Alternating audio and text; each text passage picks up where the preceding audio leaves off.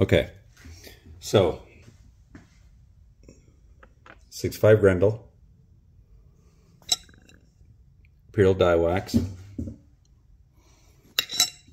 little bit inside, which make sure after you're done with this, you need to tumble it, dry that out so no powder gets stuck to it. I also did one shot earlier and let it dry. Hornady die set up right there.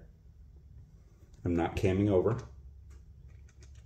Okay, pop it in, slow. Watch right here. See how it drags? Perfect. 22.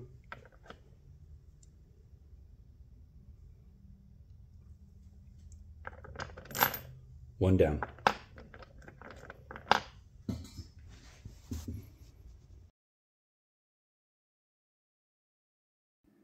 So this is the 6.5 Grendel on the left and then the 22 arc and you can see some of the coyotes that I shot with the 53 grainer. More to come.